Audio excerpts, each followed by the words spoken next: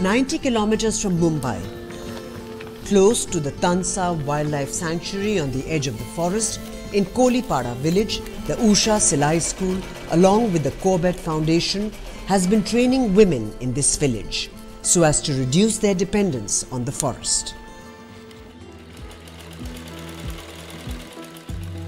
The Usha Silai School and the Corbett Foundation partnership has shown the way forward for these communities. Conservation efforts can only be successful if the communities living around the forest participate in conservation programs. And by providing a livelihood and an alternate source of income to these people, the Usha Silai School has helped the Corbett Foundation win trust of the people